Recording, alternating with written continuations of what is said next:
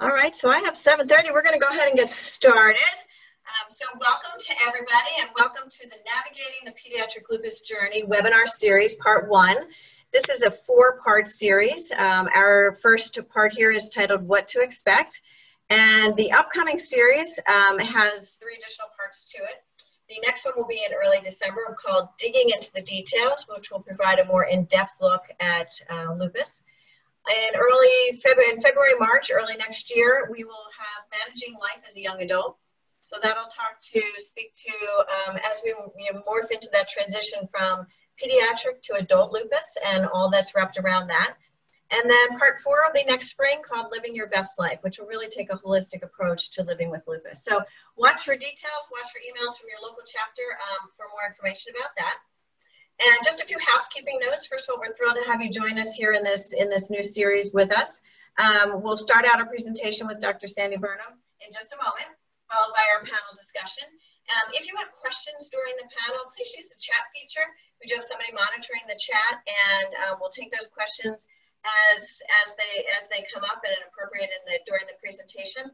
Uh, please know that we're not able to take very specific questions regarding um, specific individual diagnosis or treatment options. Uh, there will be contact information for both our chapter and you can certainly refer back to your own local um, LFA chapter, uh, but also uh, Dr. Burnham will be sharing some information about how to contact CHOP uh, Children's Hospital Philadelphia, our local institution here, if um, you'd like to reach out directly to them. And um, we are recording this webinar, so you'll uh, you'll get a copy of this. You'll be able to access a copy of it on your local chapter, uh, LFA chapter's website. And you'll also likely get an email with a link to that um, as a participant in this program. So um, with that, what I'd like to do is get started, and I'm honored and really pleased to, to work with Dr. John, we call him Sandy Burnham. So when you go to, to look him up, you might see his name as Sandy or as John, but I'm really pleased to introduce him to you. Dr. Burnham is an associate professor of pediatrics in the Division of Rheumatology at the Children's Hospital of Philadelphia. We call it CHOP. And the University of Pennsylvania School of Medicine. He currently is the clinical director and director of quality, quality and patient safety in the Division of Rheumatology. He is the director of the CHOP Lupus Program and co-director of the Lupus Integrated Nephritis Clinic. Dr. Burnham is actively involved in quality improvement initiatives at CHOP and nationally and studies care delivery in children with juvenile idiopathic arthritis and lupus. He has worked collaborative, collaboratively to develop clinical pathways to diagnose, treat Kawasaki disease and MIS-C, and prevent acute adrenal insufficiency in children treated with chronic steroids. His work to oper operationalize treat to target in juvenile idiopathic arthritis serves as, served as the model for implementation in the Pediatric Rheumatology Care and Outcomes Improvement Network at sites across the US and Canada. He is now working to develop and implement the Pediatric Lupus Care Index, a composite tool to measure the quality of care with a focus on outcome measurement and comor comorbidity assessment and prevention. He is the CHOP site site PI and PR for of PR-COIN, C-O-I-N, and serves as the co-chair of the PR Coin Outcomes Committee. In addition to inter internal funding, he has received funding from the National Institutes of Health, the Rheumatology Research Foundation, and is the recipient of the 2018 CHOP Master Clinician Award. Dr. Burnham, thank you for being with us tonight. We're honored and privileged, and I'm so pleased to work with you on an ongoing basis. So I'm going to turn it over to you. Take it away. Sure, thank you. Um, I'd like to thank you, Cindy, as well as Amy Onder from the Heartland chapter and Terry Iman from the uh, Georgia chapter, as well as the parents who made this discussion possible. I also want to thank all of you for joining us, and I look forward to learning from you uh, during this program. In the next 10 minutes or so, I plan to discuss some quick basics about lupus and also discuss some themes gleaned from discussions with many families grappling with a new diagnosis of lupus uh, in a child. Next slide. This is a picture from way back when, in September 2001, with a young woman whose lupus diagnosis had a major impact on me, and looking back provided a lot of motivation uh, to work hard on these kids' behalf. Uh, she was one of my first patients with lupus and really taught me how difficult the journey can be for so many kids and their families. First off, the diagnostic journey can be long and very frustrating. Then it can be painful adjusting to a new diagnosis. It's a lot to handle for anyone and it takes a team. So what does adjustment mean? It means accepting the diagnosis and the need for treatment, adapting the whole family's life to account for these new and unfamiliar healthcare demands, um, dealing with the social, educational, and financial impact, and living with a new and unanticipated uncertainty in your child's life and your family's life. Next slide. There are four different kinds of lupus, including systemic lupus. That's the most common form of lupus and the condition that we'll be talking about today. Cutaneous or skin-limited lupus is less common, but can evolve into the systemic form. Drug-induced lupus happens when a medicine induces the symptoms of lupus, but tends to go away after a period of time after the medication is withdrawn. Neonatal lupus happens when a mother with lupus transfers some of her antibodies to her baby, potentially causing problems with the skin, blood, liver, or heart. So lupus is an autoimmune disease, meaning that your immune system, which keeps you healthy uh, and helps fight off infections, begins to recognize parts of your own body as foreign. Some have described it as an internal war with your own body or friendly fire. The disease did not start right at the time the symptoms developed. It probably took quite a while for the immunologic events to occur that culminated in the lupus developing. Next slide. We know that about 80% of patients with lupus are female, and it most commonly starts after puberty and in early adulthood. It's also more common in Asians, Black, and Hispanic uh, individuals.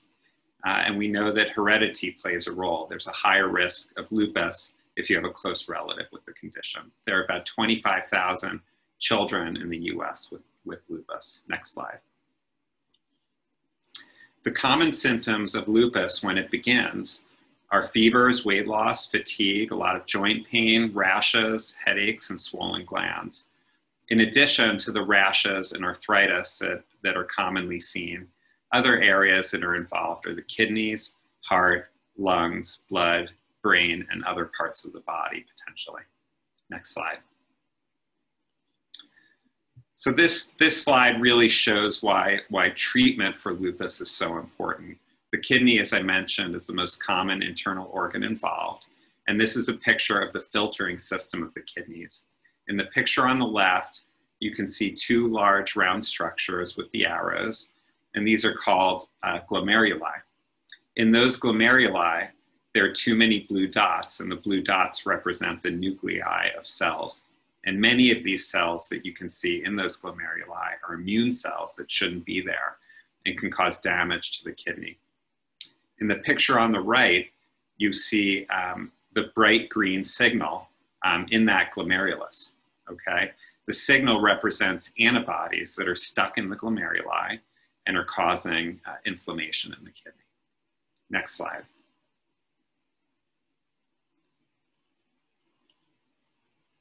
So you need to get off to the right start uh, to, to put um, to institute the right treatments for your for your lupus. One of the biggest tasks as you confront this new reality is setting up the right team and support system. The rheumatologist is usually the captain of the ship, and there may be other subspecialists like kidney doctors or nephrologists, and other doctors like um, that treat the heart, lungs, blood, brain, or other systems. The primary care physician is often a great partner, the first line of defense for you. Um, we often utilize social workers uh, who can help you with insurance issues, school, adjustment, and a lot of family support. Um, psychologists are, are um, often uh, needed. We're very lucky to have Christina working with us um, at Children's Hospital. Um, and uh, we know that depression and anxiety are very common um, in youth with lupus. The school nurse is often helpful with helping with any issues that happen at school. Um, and the family unit is critical. Everyone has to stay healthy and you need to take care of one another and you even often need to utilize um, uh, the extended family. Um, community organizations like the Lupus Foundation or your church or synagogue um, or sports teams, um, anything that you can think of to help you um, will be needed. Next slide. Now, we don't have a cure for lupus, but we have many treatments that are, that are very effective and more on the way. Um, here's a list of the different types of medicines that, that we use. I'm sure you've seen um, many of these in your um, uh, coming from the pharmacy and, and that you're using with your child every day. Antimalarials like hydroxychloroquine, very, very commonly used. Glucocorticoids or steroids, prednisone is the most common um, and helps put out the fire very quickly. DMARDs or disease modifying anti-rheumatic drugs like mycophenolate, azathioprine, and methotrexate often help um, with what we call steroid sparing, which limits the amount of, of prednisone that you need. Biologic therapies are also becoming um, more commonly used medications such as belimumab or Benlysta and rituximab. If your child um, has much more severe lupus, um, sometimes chemotherapy is needed and cyclophosphamide is the medicine that we most commonly use. There are other supportive therapies uh, that are used like blood thinners, blood pressure medicines, acid blockers, calcium and vitamin D for the bones, sunscreen, and, and vaccinations, of course. Next slide. So what's the impact on quality of life? We know that quality of life in kids with lupus can be lower um, than their peers. Um, but it kind of depends when you look at the when you look at the patients. In this one study that I'm citing here, um, it was with patients with more established lupus with over two years of disease. And the authors noted lower quality of life. Um, and but that lower health related quality of life was mainly driven um, by pain, fatigue, and anxiety. Those were the three factors that seemed to be most linked. Um, as I mentioned before, we know that depression and anxiety are very common. Um, and there was a, a, qualitative study, which was an interview study of about, I think, 40 youth with, with lupus. And the article was entitled uh, Lupus Means Sacrifices. And a number of themes emerged uh, regarding how lupus affects life during childhood.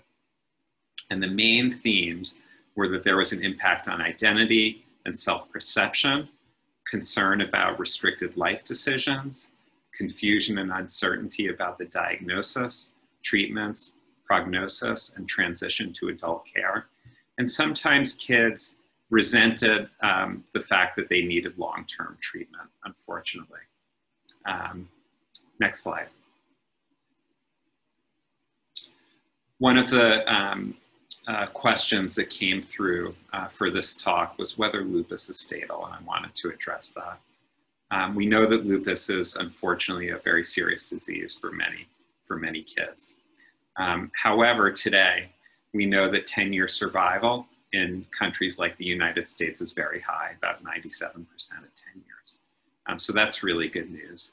However, um, in lower income countries, where medical resources may be more scarce, patients struggle a lot more. In those countries, um, survival at 10 years is only 79%. So what this tells me is that lupus is a serious disease, we know that. Uh, but it's really important how you access medical care. Um, that is going to be um, what, you're, what, what um, is really helpful uh, for your child long term. Uh, next slide. So another question that came through is about the parent or caregiver role. So I wanted to address that too. Um, there are some basics about parenting any child. You still need to pay attention to all the needs that they had before. Uh, but now their physical safety has been threatened. And the most important thing for you to do is work with, with the team uh, to make sure the treatment goes well. Uh, but your kids will also be going through the normal emotional, behavioral, and social development that characterizes mainly adol adolescence, um, since lupus mainly affects um, teenagers uh, during childhood. I have two teenagers, um, and I know that raising teenagers takes a lot of patience.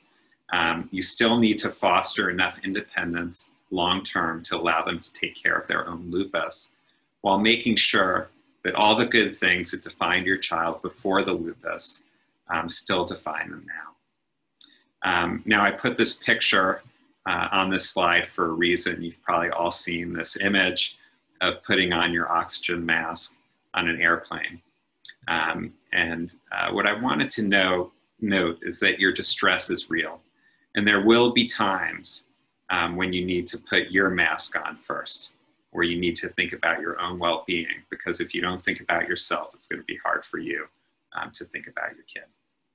Next slide.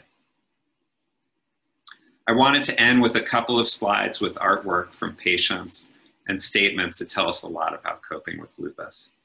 This patient said, two years ago, I learned a name, systemic lupus erythematosus. It became my label, like a fragile stamp on a cardboard box. But I didn't want to be fragile, I wanted to be strong.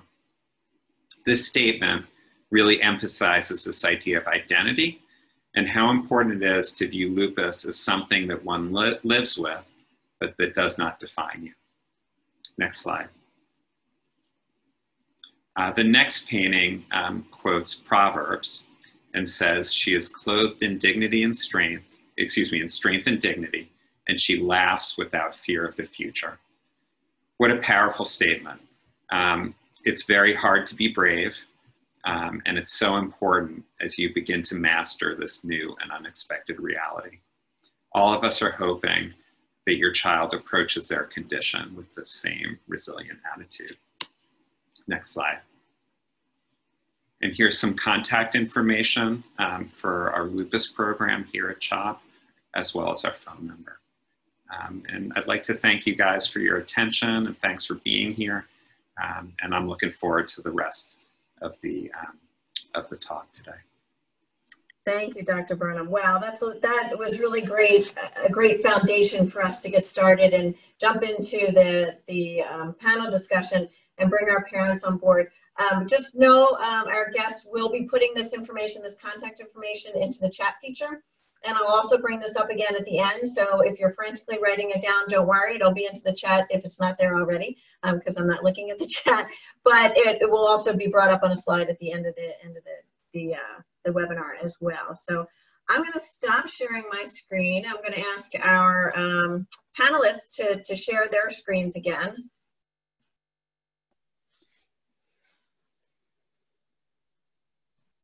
Excellent. Welcome everybody. Okay, so we're gonna we're gonna get started with some introductions and um, just want to make sure you guys are good to go. I think we have everybody. And um, we'll start, what I'll do is I'll just kind of go around and, and, call you guys out so that you can do your, do an introduction um, and let everybody know who you are. And um, so Dr. Burnham, we've already heard from you. So unless there's anything else you want to add from an intro standpoint. No, I'm just really happy to be here and want to again say how grateful I am for this opportunity. Thank you, everyone. Thanks for putting sure. it together. Fantastic. All right, Dr. Christina, Christina Rouse. Hi, I'm Christina Rouse. I'm a pediatric psychologist at CHOP. Um, I work with children with chronic health conditions. Excellent. Linda Vasquez. Hi, um, my name is Linda Vasquez. I am from Atlanta, Georgia. Um, my daughter was diagnosed at the age of 13 with um, systemic lupus, and she is 24 years old uh, today. Oh, it's her birthday. Oh, happy no, no, no. I meant her oh, age oh, today. She's gonna be 25 in a couple of weeks, so. I think we were celebrating her birthday. Thank you. Angela. Uh, my name is Angela Chapson. I'm a parent from the Philadelphia area. Uh, my daughter was uh, diagnosed with lupus nephritis in 2012, and she is going to be 17 next month. Wonderful. Thanks for joining us. Rodney. I'm Rodney Ross. Uh, I live in Westfield, New Jersey, and uh, I'm the father of Parker, who was diagnosed in 2007 when he was 14 and he's 27 now. Fantastic. Terry, you want to do an introduction? You're on mute. I'm the program director and COO at the Lupus Foundation of America in Georgia. And I just love all these accents because I'm a Jersey girl. So I'm, loving, I'm loving hearing all of this. This is awesome. Wonderful. Well, and I realized I don't think I ever introduced myself at the beginning of this program. So my name is Cindy Messerly. I am the CEO of the, the Philadelphia Tri-State chapter of the Lupus Foundation of America, um, and really honored to, to be a part of this, this discussion. Um, so first of all, I want to thank you all for being with us tonight, for sure. Your willingness to share your stories, your experiences, and uh, with with all other parents that are likely, you know, facing or experiencing very similar things that and challenges that you may have experienced. So thank you for that. Um, just a reminder to our guests, um, we do have the, the, chat feature, so if you have any questions, um, we have a, a, series of questions and things that we're going to go through and hopefully uh, catch most of your questions through our, our what we've already just um, brought to the table here. But please feel free to um, add anything to the chat and we'll, we'll get those as we can. If for some reason we can't get to all of our questions for time, uh, we will uh, we will do our best. To, you can reach out to your local chapter. You can reach out to the Philadelphia Tri-State chapter at info at lupustristate.org, which we will also put up in the chat. And um, so let's get to it. All right, so there's we're gonna from a panel discussion wise we're gonna we're gonna target each question to a specific panelist and then we'll open it up to the panel for for further discussion just to make sure with this in this virtual format that we're in that we're not jumping on each, other each other's conversations. So there's so much information to wrap your head around once your child has been diagnosed as you all well know. Doctor's visits insurance cover medication how do you best manage all of this information as a, as a parent? Rodney, how about we start with you? Well, what we found to be helpful um, was picking a scheduling app or a scheduling, um, yeah, well, an app is the best way to describe it. One that will allow you to, that has a lot of flexibility, that will allow you to do recurring events like doctor's appointments and things like that. That was find one and stick to it but use it for everything. Use it for the doctor's appointments, the um, the meds, any insurance forms, deadlines, or things like that that you need. But just one have one app that handles all of that. Then when it comes to meds, of course, find a device that will allow you to uh, separate them out, like put them in, you know, by day. Those are very common. Some of them have gotten a lot more sophisticated and will remind you on your phone when you have to take them. If, if that helps, or if you want to um, spend the money for that, I highly recommend that. Anything that will just trigger when, because it's so important that the meds are taken as prescribed. And so having a device that will help you do that is invaluable. What we also found was that for insurance purposes, we just picked one day a week to deal with all the insurance. Uh, we said, okay, we're going to handle these things on a Tuesday or Wednesday or whatever it is. And then you deal with it on that day, then you don't have to look at it again. But if you try to, if you don't have a schedule for these things, you will get overwhelmed immediately. And particularly with the with the meds and the doctor's appointments, obviously. So having anything that will help you um, schedule those things and remind you of it in a way that, that that's not too intrusive, but will at least, you know, keep you on a schedule. Just like when they were, when your child was an infant, um, schedules were, were, were crucial. Well, you have to bring them out again. Schedules are going to be very important now that uh, you have to deal with all of the doctor's appointments and the meds. So those are the things that we found to be very helpful in terms of just staying on track, picking say just one day a week to deal with insurance stuff and then having a really good scheduling app to handle the doctor's appointments and the uh, and the meds. I like the idea of the one day a week for insurance. That's I have I haven't put that into place in my own life, but I think that's a really good idea. Anybody else on the on the group want to add into that?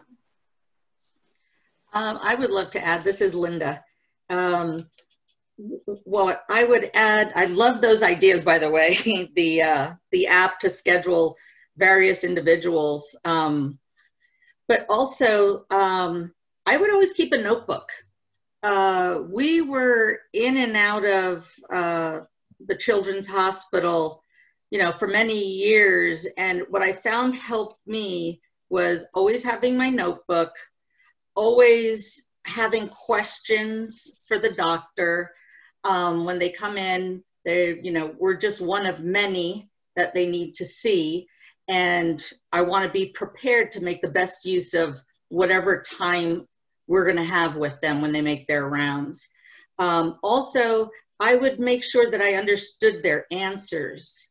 Um, I don't have a medical background, um, so if I didn't understand fully, I would ask for them to explain it to me. If uh, if I had questions, um, you know, I would ask those questions again from new information they had given me. But um, just always seek to understand what what they're doing and why they're doing it because you know there's a lot of people who as was spoken before there's you know rheumatology there's psychology there's there's different people in the mix that are that are um, talking to you about your child so it, the notebook was really a good place for me to be able to keep information and then to make sure that uh, i got the the questions answered that I wanted. Yeah, terrific. The notebook is a great suggestion because there's still some paper in our world, especially now. You know, so much of our, our technology has gone electronic, electronic medical records, and you have access to likely your health system's portal. And but if your if your physicians are not all within the same health system, you may be going from different place to place. So having some of those lab reports and things that you still might get those hard copy, you know, things insurance EOBs and everything else that you get. Um, it's great to have you know a place to keep all that. So so great tips from from both of you. Anybody else before we move on? Christina, go for it. I just want to say how much I love it when people bring questions. Um, I usually suggest that families write down all the questions that they have because I know when I go into doctor's visits, I forget to ask everything. It's almost like you go into freeze mode and you don't know how to ask the questions or don't know what questions you want to ask. And so if you have them all written down, you go in and I love it when they just go boom, boom, boom, boom through all their questions. Even if I can't answer them, mm-hmm. I think it's helpful to know what direction to go in and all of that. So more so from the provider side, I love when people have questions. So I think it's helpful. Yeah, in our experience is um, medical personnel or medical staff do a much better job of explaining things to people these days. Um, when I'm saying these days. It just, you can just kind of tell that there's a desire, like you were just saying, of imparting that information because it doesn't do anybody any good to keep, to be in the dark. The parents can't help, you know, um, as, as much as they should. The other thing I would really like to point out is for the appointments that you're scheduling, be on time. Try as much as possible. I know it's difficult, but just get into the habit of making sure you hit those appointments on time. Makes everybody's life a, a lot uh, easier. There's less stress on both you and the child um, of you know rushing around. But but the the notebook idea, I'm I'm really glad you brought that up too because that was really important. But people shouldn't be uh, hesitant to to ask questions, and on the other hand, just be on time for your appointments. That will make your life a lot easier. I think also being on time is a great point, Rodney. It also helps us as parents be more settled, right? So you can be, you can, you're not racing around trying to get in. You had traffic, you did this. So if you go in a little bit less stressed because you're running behind, you're a little bit in a better frame of mind to ask those questions. Right. Um, and I, I also love these days, you know, we have watches, we have phones, we have Alexa, we have all these things that we can say, you know, hey Siri, add a question to my list for Dr. Burnham or Dr. Rouse, right? right? Hey Alexa, can you put a, you know, we can tell her to put milk on our grocery list. Why can't we tell her to put a, a something on our list for our doctor's appointment, right? So we can, we have these tools that that people have access to, um, making creative use of them. So, so great thoughts. Anybody else? All right, we'll move on. Okay, next question. Uh, a child with lupus likely has several doctors and specialists, as we've we heard Dr. Burnham share. Um, who do you call for what? Dr. Burnham, let's start with you on this. What if your child wakes up with a fever, a cold? Do you call the rheumatologist? Do you call the primary care? Do I call urgent care? Do I send them to school anyway? You know, who are we calling at this point now? I am not even sure who to go to. Right. So usually, usually the rheumatologist as I mentioned, is the captain of the ship for, for the lupus. Now, if you're sure that, that your kid has an ear infection, you know, they went swimming and, and their ear is draining, that's a really good thing for your primary care physician. Um, if they have their lupus rash, you should call the rheumatologist most likely.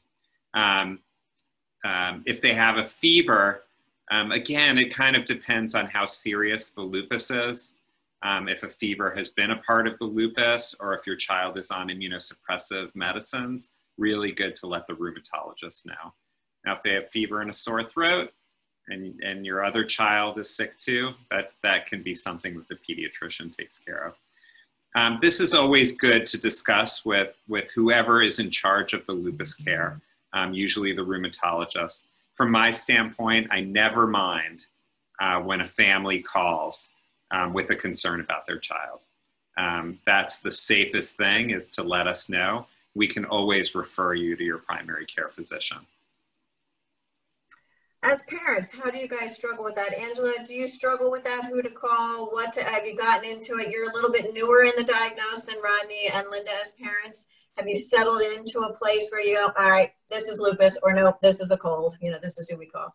All right. I, I must say, in the beginning, it was very difficult to know who to call, and it depends. Yeah. So in the beginning, when um, my daughter was going through the chemo and those sort of treatments, um, especially when she had a fever or had nausea, I would I would go to the the rheumatologist first. Um, but then as she came off the chemo and you know she was I guess settling in to what her normal routine was, um, I would I would contact the pediatrician, especially if it's I would contact the pediatrician first. And but our pediatrician has a really good relationship with us and with rheumatology, so that's really helpful too. So I think it depends on where you are with your care. Um, in the beginning, when you're not sure, I would I just erred on the I just went to the rheumatologist. I mean, her hair was falling out. She was, you know, having all sorts of nausea, that sort of thing. So that was like a rheumatologist thing. Yeah. But as you know, but as as she was, you know, getting better, I would go. I would be, be more comfortable going to a pediatrician first. And I trusted, and I also trusted the pediatrician That's to important. know that she she would refer me to the rheumatologist if she wasn't sure. So, And in, in today, just one more thing, like in today's world with the portals that, that Cindy mentioned, like if you decide to go to your pediatrician, uh, that you're pretty confident it's a regular regular kid thing, you can just send an FYI um, to your rheumatologist. Hey, this is going on. Just want to let you know. Mhm. Um, and if they're worried, they'll they'll let you know. Definitely one of the benefits of our technology these days, and and having multiple physicians being able to access different. Um, even being able to connect through different um, different hospital systems into this to a similar portal, being able to access information and lab work and stuff is really helpful from a parent standpoint of not having to share all that information too, which is great. And, and on that same line, how do you make doctor's visits less difficult? You know, especially if your child's done, uh, you know, diagnosed at a younger age, it's challenging, or even in those teenage years, the last thing they want to do is go to the doctors, or you have a lot of doctors to go to. They've got life they want to live. How do you make that stuff less challenging as a parent? Angela, did you have any success with Sure. that? So I think the key is to reduce anxiety and stress for your child. Um, so one way we found is that, you know, to prepare them to know what to expect at your visit. So give them an idea what's going on. Um, you know, sometimes in the beginning she would have like day meds. So she would have to have like the chemo treatments. So we would have to be prepared for that. Um, you know, bring activities, that sort of thing. Um, so just knowing what's going to happen at the appointment was helpful. And then also streamlining appointments, like follow-up appointments. We had to see a rheumatologist and a nephrologist with every um, follow-up visit. So I think it's really, it, it really helped to make sure that you see the rheumatologist and the nephrologist on the same day. In the beginning, um, we weren't as fortunate to have this uh, integrated clinic that Dr. Burnham has uh, set up. So um, I would go, you know, I would have to go in one day to see the rheumatologist, and then maybe a week later to go see the nephrologist. Um, eventually, we were able to sync up the appointments, but I think that's really helpful because I, my daughter hates it when she has to miss school, and that like just causes a lot of stress and anxiety for her. So just to be able to, you know, say we're just going to get it all done on this one day. Usually, I try to do it on Friday, so it's like right before the weekend. Um, I think it's just helpful. and then, you know, always go for a treat after your appointment. Oh, that's a good one. Can I say something, Cindy? Of Just course. Tag on to that treat. That's what I was going to say. Have have something else other than the doctor's visit or um, you know the hospital. Have something, any little treat. You know, if we were able to, we would sneak in lunch. You know, or we would, you know, if we were there really late, um, we do dinner before we got back into the commute traffic. Um, or you know her favorite one of her favorite clothing stores was right by right by CHOA so uh, you know once in a blue moon just a little treat it, it it makes a big difference And it also gives you as parents a little that down quality time that's Yes. not driven around doctor's offices and visits and blood work and everything else that is such a part of, of a diagnosis. So it's a fun time between you and your child too, which is nice. Excellent. And along those lines, Angela, you brought up something here, um, and actually somebody posted in the chat um, how they try to settle their their child's anxiety around doctor's office and hob- hobbies and things like that. Um, what are some, Christina? Maybe we'll go to you first on this. What are, and this is sorry, this is a little surprise. What are some ways to help reduce a child's anxiety through all of that? Right? There's a lot of things that the child gets anxious about. The doctor's office may be one of them, as Angela mentioned. It could be, you know, getting into a flare. All of that. What are some tips on on reducing your child's anxiety? Um, so actually, I was going to pipe in earlier and say that you guys are going to think I'm a broken record by the end of this, but one of the things that I love to tell parents is to validate. Um, sometimes you think like just telling a kid like you have every right to be anxious about this seems like oh that might make them more anxious, but it actually does make them feel like it's okay to feel that way because a lot of the times they're trying to be strong, they're trying to get through things, they're trying to not feel overwhelmed and or miss school and things like that. And i might say something like you know what? I'd be upset if i had to miss school too. Or yeah it's really frustrating when you have all that makeup work to do. So i, I wanted to add that in because validation is such a strong part of what i do because it helps kids feel like it's okay. Even though i can't control anything that's happening right now i feel okay. So going into the anxiety piece and just the difficulties with managing and coping with the diagnosis. I agree with the hobbies piece. I think really bringing in things that kids love to do, um, whether it's when they're in the appointments or before, kind of scheduling things around. Um, especially when it comes, I might be going off a little bit, and you can tell me if this is going into other questions, but um, I like writing down plans. So, for example, I had this one girl who hated blood work, and so she had to get blood work a lot. And so we called it the Panda Plan. She came up with the plan herself. She's the one that created all the different things that she would do right before she got the blood work done. And so, in that way, she felt like she was more in control. And I, anxiety is that fear of losing control. It's not having control over your medical diagnoses, your medication, your doctor's appointments. And anytime we can help a child feel like they're the ones in control, that's when you're going to start to see the reduction of anxiety. So I can elaborate more if you want, but I don't want to take too much time. But that's basically in a nutshell what no, I like. That's that's some great tips for sure. Um, anybody else as parents, have you, did you have a trick that alleviated the anxiety that worked for your child? Well, I think that's very important to validate um, to validate what, what they are feeling. What we told our son was that we recognize that he got dealt a very bad hand, you know, just in terms of just in life. This happened. However, his mom and I were going to be there every step of the way. We're going to give him as much support as possible, but it's okay to be, um, you know, to, to, to be uh, upset about this or um, mad or all of those emotions. Not suppressing them, I think, is is very important, but also letting him know or letting your child know that that you will be there for them in terms of uh, as much support and as much help and go through this together as much as you can. I think really letting them know and then trying to have as normal a life as possible, but letting them know that yes, you recognize this, but at the same time, you know, that's what families are for to get through it. Uh, and we found that to be helpful. Excellent. I would just add on to what Rodney uh, said.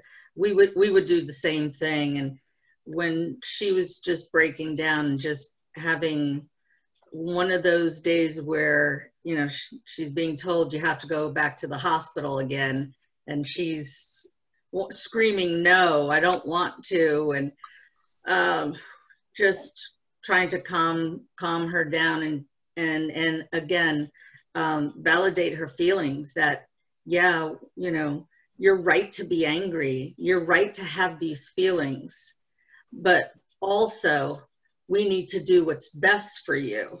And that's what we're all here to do is to help you. And as rodney said i can't um, say it enough we're here for you. When you are falling down and you can't get up from the fact that you're exhausted and just so frustrated that you do everything you're being told to do and it's not working mom uh, and or dad will be there to physically lift you off the floor and take you and be that support for you when you can't do it yourself Well said. Well said. And Angela, you mentioned something there um, that, you know, obviously um, your daughter went through chemotherapy, she lost her hair. There's a lot of medications involved, especially maybe early on in a diagnosis if you're in a major flare, which has caused the diagnosis. And then they may wean down a little bit. But, you know, there's that's a lot of medication. Those are heavy medications, right? And and there's ongoing medication throughout their life. And especially as a, as a younger child, maybe, you know, a younger adolescent being diagnosed, uh, anybody experience challenges with their with their child taking medicine, getting them to to get on the routine, the constant reminders? Oh my gosh, you know, I'm I'm sure as as parents, it's a it's horrible to have to constantly remind somebody to have to do something.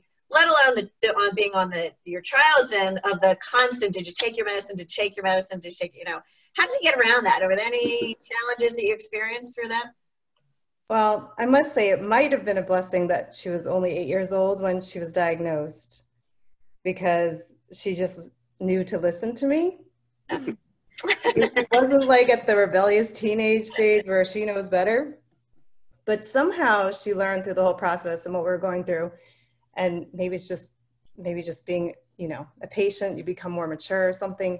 But she, she looked at it as life and death so she knew that if she didn't take the medicine, that she would not be getting better and it could end very badly for her. So somehow, and I don't know if it's like, I'm not really sure how she figured all that out. So I never really got pushed back on the medicine. And she went through all kinds of side effects too. So, I mean, I think it may have been harder as a teenager, honestly, right? Mm-hmm. And Rodney and Linda, you might know better um, and, but to this day, like she's very conscientious about taking her meds. Yeah. Yeah, I I was very well, am very lucky that she's always been a very conscientious um, individual with school. As your daughter, it sounds like you know they hate the fact that they've got to miss school. That they want to be in school rather than be at a doctor's appointment or in the hospital. But um, she was she was very responsible and she list she listened. So you know thankfully we didn't have a big issue on getting her to take them. Um, but what made things easier was those the these uh, i think rodney mentioned it the pill individual pill carriers or organization for the pills. Yep. And um, and even in the last two years we we just found them where there's they get smaller, it's more manageable, more discreet for her. You're able to just carry what you need for the day. And then when you come home, you put it back into the, you know, the week long organization of, of, pills you have. But um, that helps a lot. Totally agree, Linda. Um, when she was first diagnosed, we had a neighbor and um, she introduced us to a friend who actually had lupus also. And she gave her this decorated pill box where like it's for arthritic pa- patients where you push the buttons. You know, being an eight-year-old girl, it was like all glammed up with all the jewels and stuff. Like she, right. she really liked it, and we still use it to this day. Wow, that's I awesome. Mean, it's yeah. like almost nine years old, and she still has it. Well, I love what you just say there. It was all glammed up. You bedazzle it. You Oh yeah, it's like Yeah. gaudy. Is it's really gaudy. That's, that's like jewels everywhere, and yeah, and it's lost a couple jewels now. But you know, nine years later, we're still using the same pill box. That's amazing. Awesome. That's awesome. But, but little tricks, right? It's fun. It's something, it's something Mhm. different, and you know we do whatever we can as parents to make things happen, right? Right. But but that's kind of fun. Um, so Christine, I'm going to come to you with this one. Um, how does a parent manage their own fears about their child's diagnosis while still being that caring, positive, you know, person and such an important person in their child's life, but having these these very true and real fears? Something that I'm pretty frank about, especially when I work with parents, is um, it's it's really hard to go through all of this, and obviously you can't express to your child fully like what your fears are about their health and the outlook of things and things like that. And I I really stress that it's not a sign of weakness if you do need to go talk to somebody. Um, so if you need to go see your own therapist, if you need to meet with the doctors on your own just to express your own concerns, I think it, it's a sign of strength. It helps people. It helps you. Um, uh, it's funny that um, Dr. Burnham did the uh, face mask thing because I say that all the time when I work with parents. Is you're not going to be very effective if you're trying to always put out the fires. You got to put your face mask on first. And so by putting your face mask on first, by you know taking care of yourself, even if it's not therapy, it can be making sure you still have time for yourself. Even if it's just some parents, they tell me they have zero time. I say you know, if you sit for five minutes with your cup of coffee in the morning and just take that time just for you, or if everyone's in bed and then you can just sit on the couch in complete silence and just relax. Make sure that you're also taking your own time for self-care because we do forget about ourselves. We want to do the you want to do the best for your child. You want to be there for them. And what we have to remember is you're going to run out of steam if you're not careful, and you don't want that to happen. So whatever you need to do to also take care of yourself, whether it's friends, family, or even just yourself, I highly recommend it. I tell parents to take care of themselves. Yep. So important, so important. And you know, Linda, Ronnie, Angela, you've all been in this for a while, right? So you know, even as still as young as as your daughter is, Angela, she, she was eight when you were di- when she was diagnosed. So it's it's you've been in it for a long haul. Have you guys found any tricks to to to force that self care on yourself, right? Because sometimes we have to force it on ourselves, no doubt. Family, lean on family. You Good know, point. just find a family member, um, and they're all they're all more than willing. Just ask. My problem uh, is I don't ask. Mhm. I, I, you know, I don't want to have to burden someone else to give me time, or and I shouldn't use the word burden, but impede on someone else's time, asking them to do me a favor. That's always been hard for me. So, um, yeah, I, I go to family. Very Yeah, family's so important. Um, well, for obvious reasons. We found, or I found that uh, j- just having an activity, something you could do, it doesn't take a lot, a lot of time, but just something you can do that's just a you thing, whatever it is. It could be um, a fantasy football league, or, or uh, I play golf. Uh, just something that you can do that's short duration, but you can kind of just leave everything alone for a few hours. That's a great recharger. Your child will love it because you're not going to be frazzled and freaked out. And, uh, you know, they don't, even if you remember when they were infants, uh, they liked order. And that's the same way when they get older. I mean, if they think that you're not in control, that's going to give them more anxiety. And if having an outlet helps you to become more in control, that's all to the good for your child. I agree. Nice. All right, we're going to switch gears just slightly. We're going to take it to the like the school, the social aspect of a lupus diagnosis for for your children. Um, how did you talk to, your, or how do you talk to your child's school or friends? That social aspect about your diagnosis, you know, whether it's a new diagnosis or when it was a new diagnosis, um, or something that's maybe gone to to a next level. It's gotten a little bit more extreme, if you know, if that be the case. How did you address that, Angela? Let's go to you first on that. Sure. So um, I must say, when she was initially diagnosed, she was going into third grade, and we probably wouldn't have said anything to the school right away, but the fact that she was going through treatment, the high dose steroids, and she had a lot of physical changes. So she had the like huge weight gain. She was losing her hair. Um, so we it was kind of unavoidable. We had to tell the school what was going on, and we also wanted them to know. I mean, so we met with the principal, the school counselor, and um, her teacher, just to get them on board to let them know what she was going through and what we'd be dealing with this year. Um, so we actually, and we also reached out to the LFA actually, and the LFA was really helpful, and they um, they actually put together a program for, for the school. So they actually helped us educate everyone in the elementary school from kindergarten through fourth grade, and, you know, in a kid friendly way, like what is lupus, you know, so, and it just, just to bring awareness to this disease. And um, we actually did a little fundraiser at the school as well. So we had like a little walk. So, I mean, by third grade, I mean, she has friends, but it's a little different than like if you're a teenager and you're telling your friends. So this was kind of a way to like just bring the whole school on board. And um, so it was kind of a fun activity, you know, everybody was involved.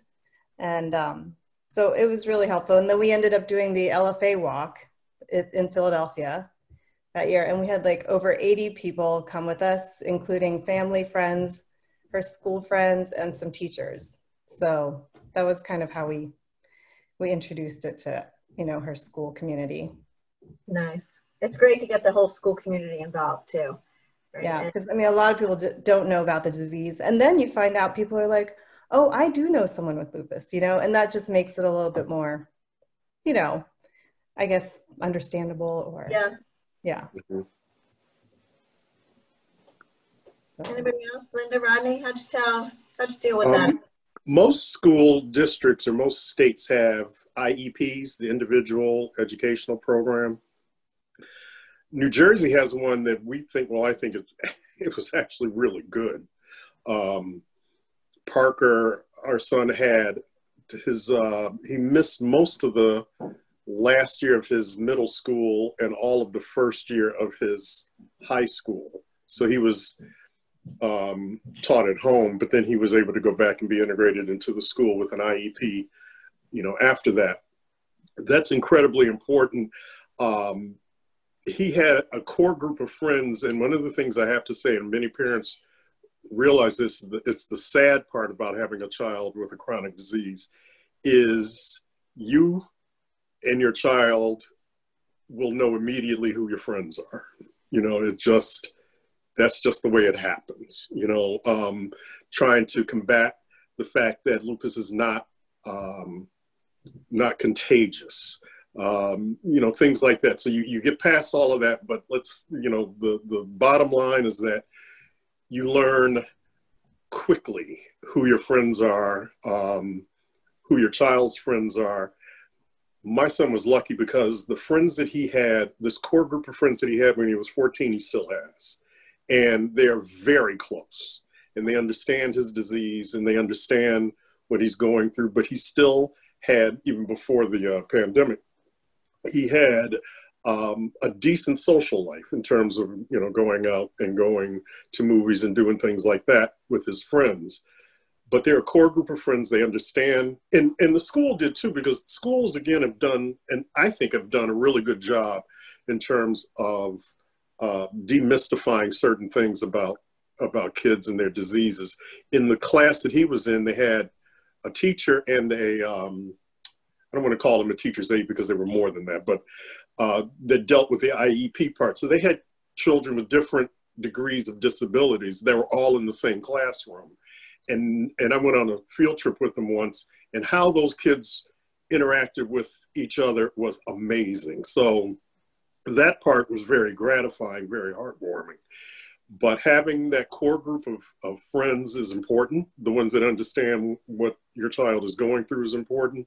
Um, you will have them, you will find them, whether it's two, ten, or you know, however many it is. Those will be the ones that um, will help you get through this and help your child get through through this because they'll give give your child as much of a degree of normalcy as possible. I guess that's what I'm I'm trying to say, and that's Mhm. important.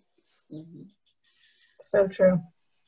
I I would just add um, my experience with the school system uh, down here in the suburbs of Atlanta. Um, the IEP existed, but I had to go and find it. Mhm. I had to be the one to seek out information. I had to, you know, seek out, you know, talking with the guidance counselor. I had to. It it wasn't. Um, it was it was something I felt her school just didn't deal with. I, I- felt like it was a whole new thing, although it existed at the county level. You know, the IEPs and all that stuff, and we did we did all that, but I don't feel we had as good of an ex- as, as much support from the school um, as the other two, as Angela and Rod, Rodney had. And again, though, Alexa was uh, first year high school when she was started having real problems. So for a young girl, that's it's just such a tough age. Right. and you know going into high school and angela she was she was having the hair loss the chipmunk cheeks as we call it um, going through all that uh, I, I got to a point where she wore a wig you know? We we actually went and, and had her fitted for a wig and such to to help her. But um yeah she doesn't l- view her high school years very fondly. She had her love she loved playing softball. She had to stop playing softball. Platelets are too low. You can't can't take the chance. And then it just went on from there. So um Right. so yeah so it's, i'm thankful to hear that there are good stories out there you know but then there's there's there's some like ours too Mhm. where the parent i just find throughout this throughout all the years um, we have to be our children's advocate. You know there is no one else who's going to do what we're going to do. Um, and you know rightly so. Um, but i just see the need for advocates out there for for children when you're in the hospital with your child you know and you see you know not everybody can be there with their child the way i was able to you know. So um so i just feel just real strongly about being an advocate and and trying to help others you know with you know information I think the advocacy point is that, yeah, Christina, go, I'll go to you first. Um, the only thing I was going to say, I really agree with what Rodney and Linda said about just understanding their children. But um, one of the things that I've really seen a lot in my sessions with kids is the amount of questions they get from peers, even if it's not something, it's one of those things where we want to ask them like how much they want to be shared. Um, I think that the parents that have talked thus far, like they're absolutely spot on with their children about how comfortable they are with what they want to share with everybody. Um, and so what I usually try and figure out is, like for example i have some kids that say i'm really tired of explaining to people why i'm going to the hospital so much or i'm really sick and tired of people always asking me like what's wrong with my face or why i'm putting on weight or why this is happening to me. And so sometimes i come up with the kids in the session a script of how much you're willing to share how you want to explain it. Like for example if you don't want them to know anything at all we come up with a script. It's thank you for your concern. I don't want to talk about it and I feel like kids can then start to advocate for themselves as well. But once you have that script, it helps them feel less anxious when they're in the situation because kids are nosy, kids mm-hmm. are bullies, and it's really hard when you're in that situation. And that's something that I deal with probably on a more frequent basis nowadays is kids just constantly ask questions about kids like medical conditions and why they're out of the school and I just feel like so strongly that it's so important to get what they feel most comfortable with in those situations. And again, I think everyone so far has really hit the nail on the head with being able to meet their child where they're at and advocate for them. I really agree with that point. Yeah, I love, you know, providing, providing your child with the tools of whatever they may face and however they may face it, whatever they're comfortable with. um, is arming them and then supporting them through that. I think that's that's that's a great, amazing tip um, for sure. And you know that, uh, Linda, you led us into one of our other questions here when you talked about um, your daughter playing softball. You know, there's the whole challenge of well, obviously right now we're not doing much, but you know when we get back into and before we'll call it BC before COVID. Um, you know, we're we worry about our kids to begin with. We worry about them getting hurt and injured and infections and things like that. Um, but now you've got a child with a with a potentially compromised immune system, right, with an autoimmune disease. Um, they're on medications, and it may cause enough anxiety for the child through that. But how do you know when to draw the line of participating in sports because they might get hurt or they might or doing a sleepover because they're already tired and we all know as parents what sleepovers do to kids right they're exhausted for days afterwards and a good day and now you add in you know a, an autoimmune disease um, christina I'll, I'll start with you on that how do we, you know, sometimes you feel like you're darned if you do and darned if you don't, right? The kid's gonna, your child's gonna be upset because you're not gonna let them go to the sleepover, but you know what's gonna happen after the sleepover. So where do we draw the line? Oh, it's so context based. That's such a good question.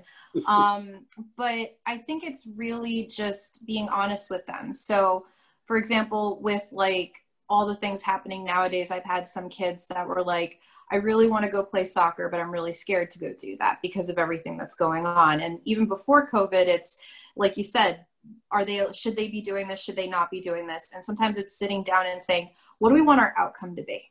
So, for example, do we want you feeling better at the end of it? Do we know what it's going to look like when this happens? Yes, in the very moment, we want these things, but we know that the outcome is going to be this if you do it. Um, I almost call it like my ABC chart. So the A is like always the same. It's the, okay, this is what's going to happen. B is what you choose to do, and C is the consequence.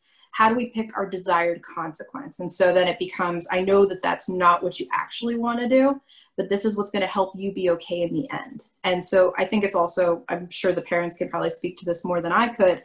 It's not always going to be the one that you want, and you're not always going to get a kid going, absolutely, that sounds like a great. they're going to be like, they're going to be angry. So, like, I think that's also something too, where you you sit back and you go, I'm sorry you're upset, validate. And um, but we want the better outcome in this situation. I know it's not the one that you wanted. yeah. All right, parents, tell us. You've experienced it, I'm sure.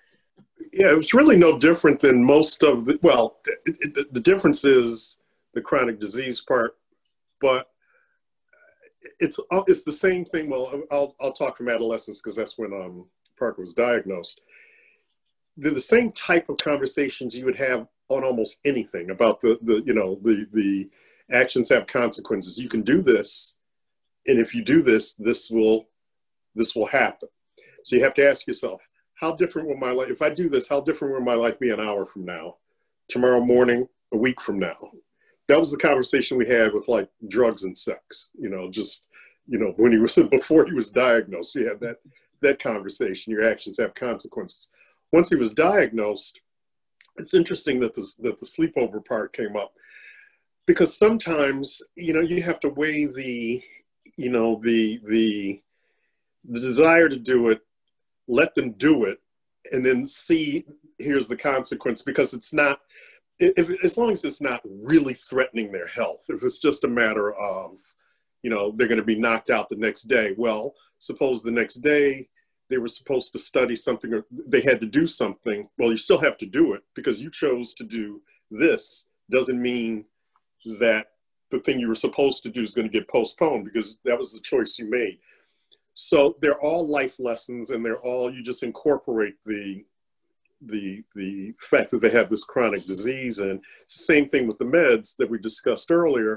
If you don't take the meds, this is what's going to happen. Um, and we didn't have we really with the meds we didn't really have a problem. There was a short period of time when he was when he was uh, reluctant to take them or didn't take them. Then we had to take over again and do it. And then you know he just he just got into the habit of doing it.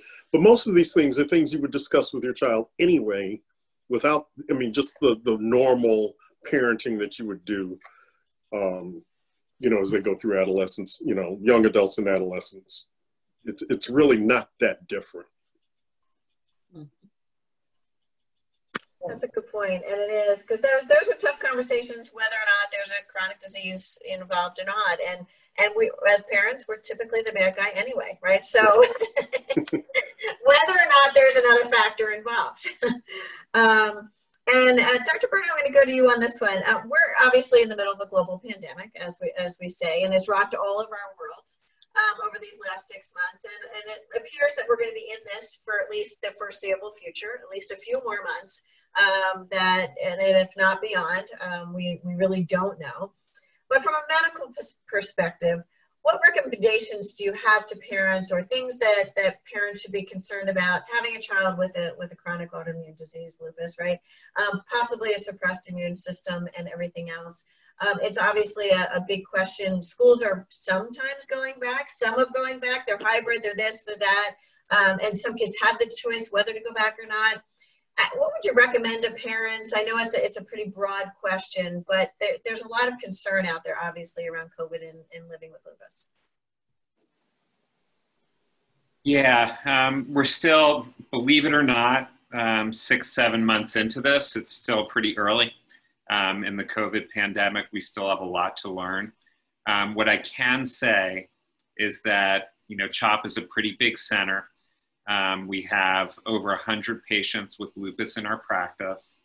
Uh, we have had a few lupus patients who have developed COVID, but it's mainly been found incidentally. So, for example, there was a child who needed a procedure to be done, and you had to get pre procedure COVID testing, and it was, it was discovered that she had COVID. She's on a lot of immunosuppression. And she said, You know, I was maybe a little short of breath, but, but that's about it and she was fine. And that's generally been our experience so far with COVID in our pediatric population. It's been, if there's been any silver lining to this whole experience, it's been how well um, the kids with rheumatic diseases have done. We're not sure how many have gotten it, but what I can say is that there hasn't been a single patient in our practice uh, who's been hospitalized with COVID and that's really, I mean, if you had told me that six months ago, I think I would have been pretty surprised. Um, you know, we have kids who get hospitalized with influenza with some frequency. Um, so, um, you know, we're not quite sure yet, but but I'd rather be younger than old. I'd rather be younger than older. Um, uh, uh, if you get COVID. Um, so that said, uh, we don't know what the future is. If you're on really significant immunosuppression and high dose steroids, it might be a little bit of a different story. Um, but listen, you got to use your, your hand hygiene, you've got to wear your mask. Um, every family needs to make their own decision about what's right for not only their kid with lupus, but for their whole family and extended family. Um, we're trying to just support families as much as we can in whatever decision that they make about school. Yeah, it's not an easy decision for sure. And I think um, I do, I, I, I, love the statistics that you're sharing. That's great news that that the, the few patients who have gotten it, right, have not been severe and it's been caught incidentally kind of thing. So um, that's, that's a really good thing to hear. That's a very positive outcome from that um, from some, certainly some of the other stories that we hear in the news and things like that. So um, any other parents, uh, any anything else you want to share as far as your challenges, whether it's with school age kids or adult, you know, you've got adult children out there um, potentially working, you know, doing different things. How are you handling it?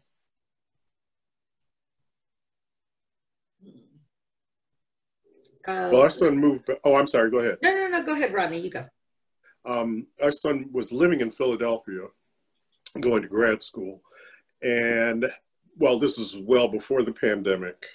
Had moved back home because he had a, a severe uh, setback, and when he got out of the hospital this sec- this third time, second time, he just moved back home, and he's been home with us since. So, in a way, the pandemic puts it's like everybody has to those people who are paying attention have to you know take precautions. So i'm i'm uh, how can i put this? When he when he has to go out in public the fact that like he has to come down to, to UPenn to go to um, we have to be down there in fact Tuesday because he has to go see his wound care doctor and his not his rheumatologist his um, dermatologist and when we go down we get masked up we have the, the gloves on the mask on he's got goggles because we're not taking any chances and we go into Pearlstein Center and he goes and sees his doctors and we go back out and we get in the car and we go home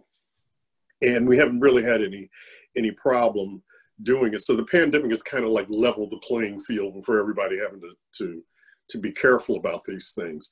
Prior to that, we just had to be very careful about what, uh, prior to the pandemic, about what he um, was exposed to.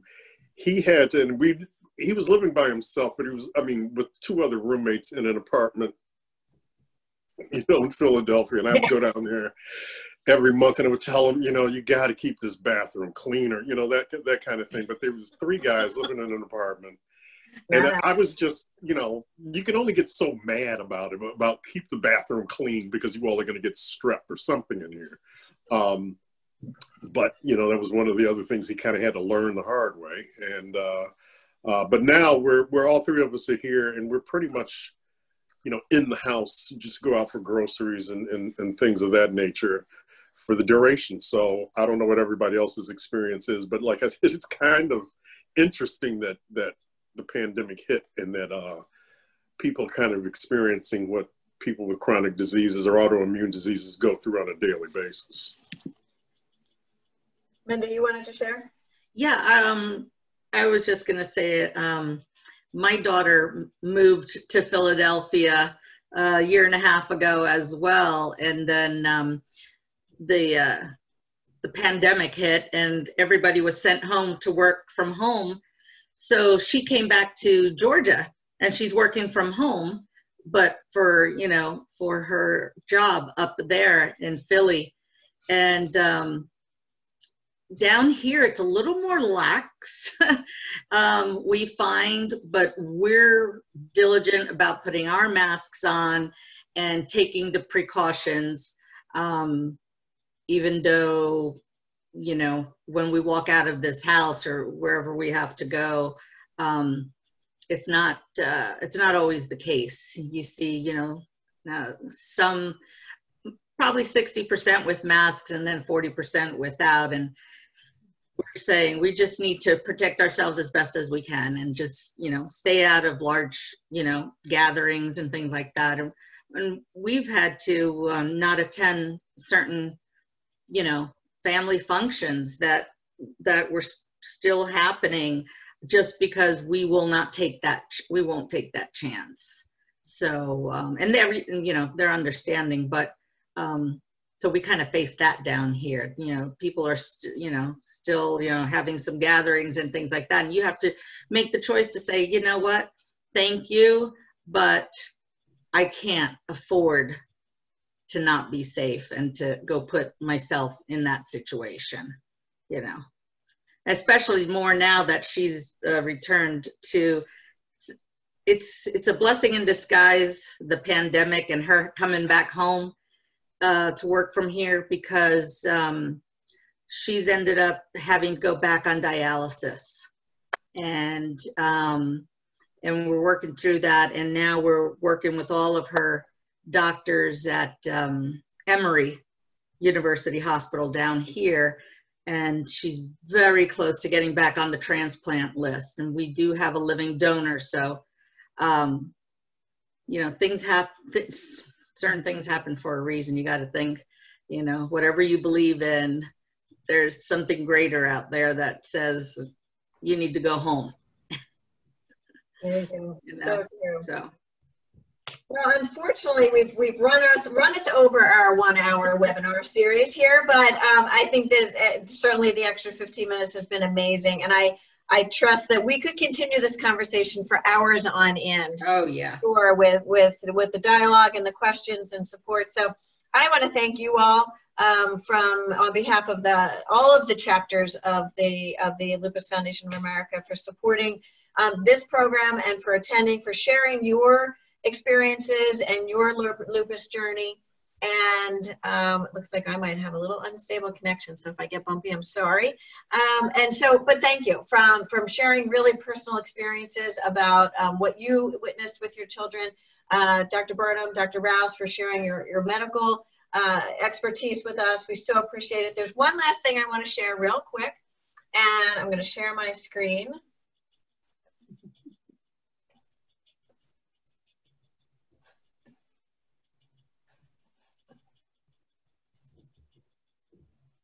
All right, and I just want to give you a heads up about a uh, parent support group that happens um, that the Georgia chapter has put together. Thank you, Linda, for being one of the founders and, and facilitators of this program, the Lupus Parent Project. And um, if you are interested in, in really connecting with other parents who are living with children, obviously have children living with lupus, and a little bit of a support network, um, please reach out. You can find their information here. Uh, we'll also put this up in the chat and um, but the Georgia chapter, and they are they do meet virtually. So just another resource for parents out there uh, to to connect, which is really important. And then I want to share back with you one more time the CHOP information on connecting with CHOP. Again, this is uh, in your chat, so you'll see it there. Uh, but feel free to reach out to your local LFA chapter if you have additional questions. If you'd like to, if you're like here in the in the Philadelphia region and you'd like to connect with with CHOP, and their rheumatology team, please feel free.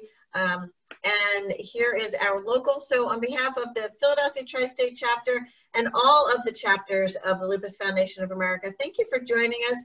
Uh, panel, Dr. Burnham, Dr. Rouse, Rodney, Linda, and uh, Angela, uh, thank you so much for your participation and for joining us.